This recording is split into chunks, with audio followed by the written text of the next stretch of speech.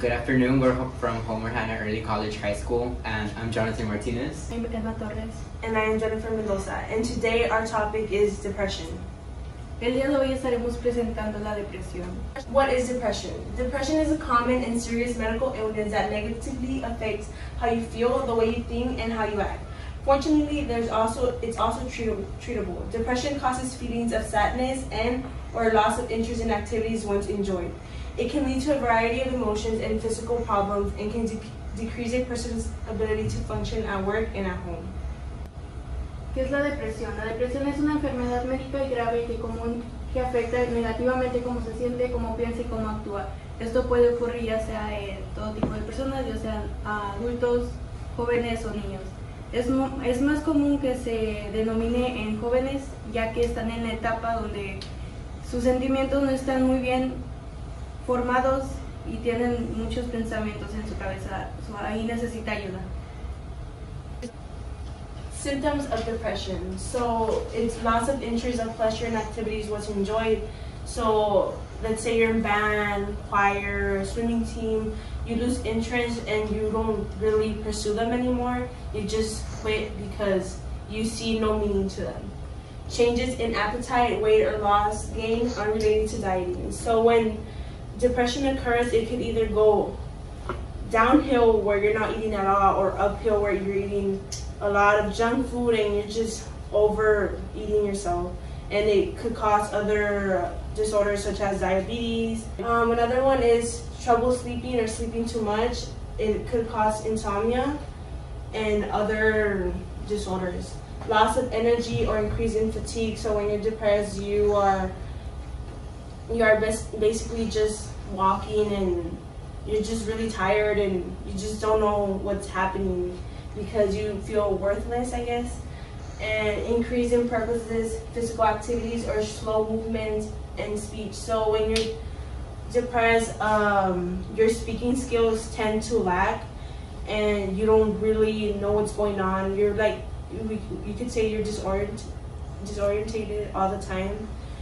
Another one is feeling worthless or guilty. Sometimes depression can come caused by trauma or a cause of death, and it, it may make, make you feel guilty. Let's say someone died in your family and you have the feeling that it's your fault when it's actually not.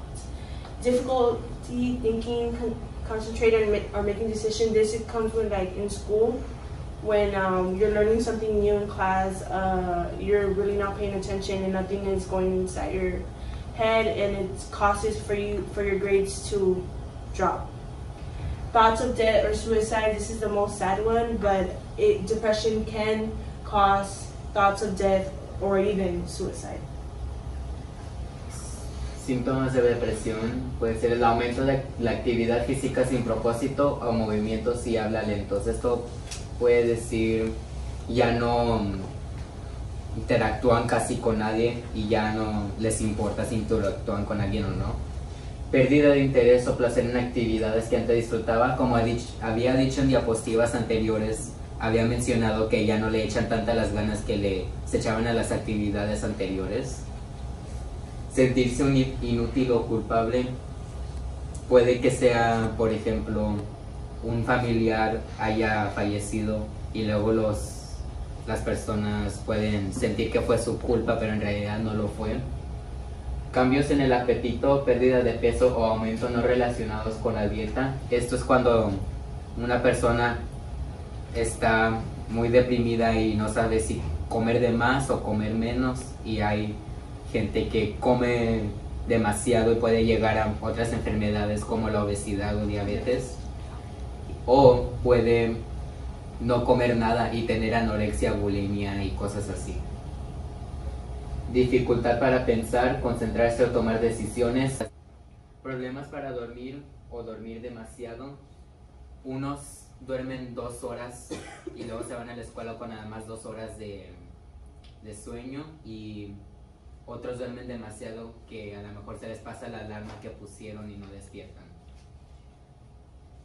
pérdida de energía, aumento de la fatiga.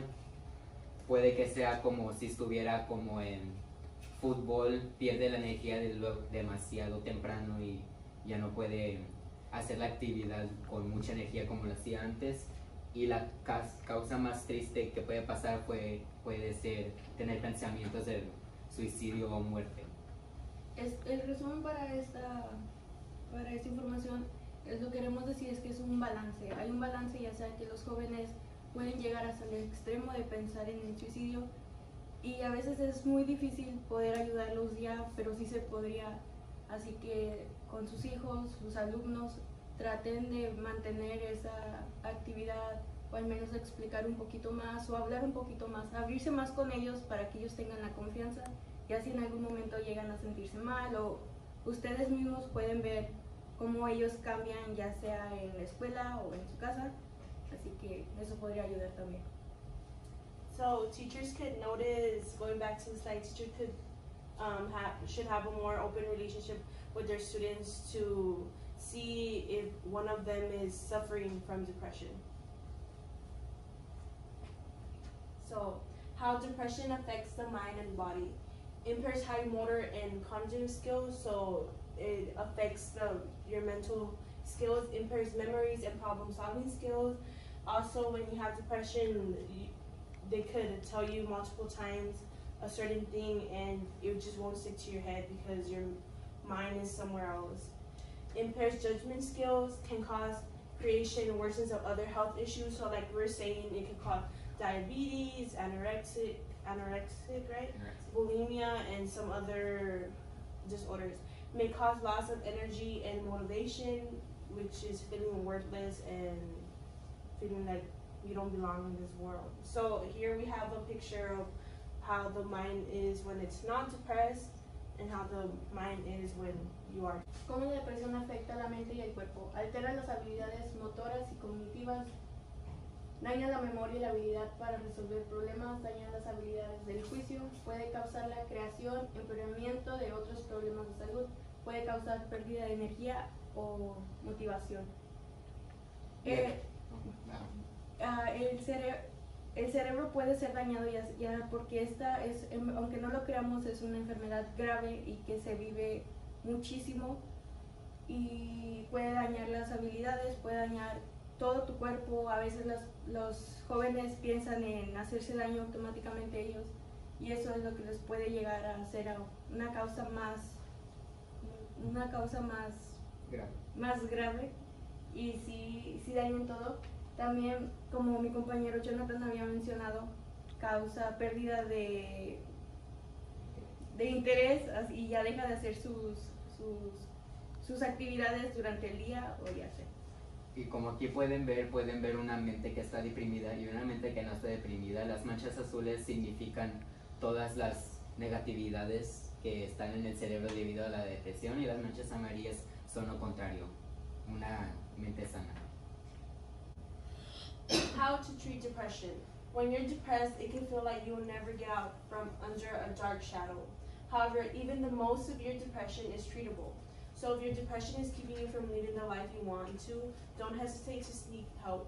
From therapy to medication to healthy, health, healthy lifestyle changes, there are many different treatment options available. So some of them are learn as much as you can about depression. So be, before you, always need to have someone with you, like either a mom or an educator, a parent or an educator, and they need to inform you about what depression is so you can understand what you have and you have to be able to accept that you have depression.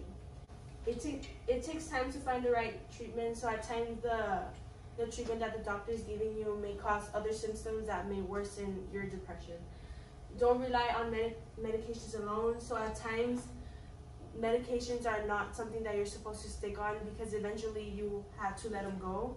So get you could also get social su- you have to get social support from like your parents, your peers, and your educator.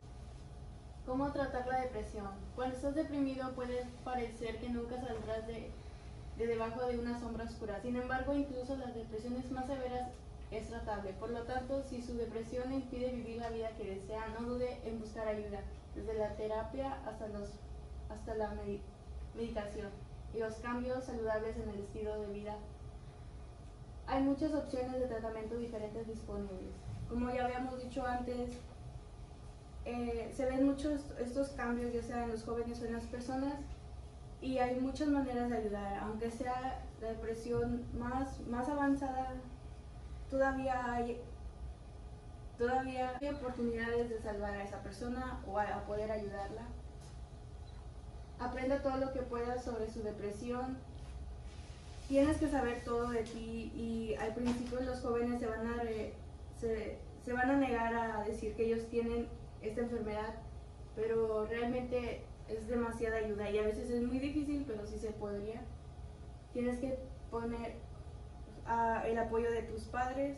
Bueno, ellos tienen que tener el apoyo de ustedes o de sus alumnos o ya sea de algún familiar si alguien está pasando por esto. Thank you. That's it for our presentation today. I hope you have informed yourself more about depression and can help someone that has de- that has depression or someone that has the symptoms of, de- of depression. And yeah. Mm, muchas gracias por haber venido. Ojalá hayan aprendido algo sobre la depresión y ojalá no se Ojalá no sea su caso esto y si ustedes llegan a ver algo, por favor comuníquense con alguna de estas clínicas. En la salida vamos a estar ahí por si necesitan alguna ayuda y gracias.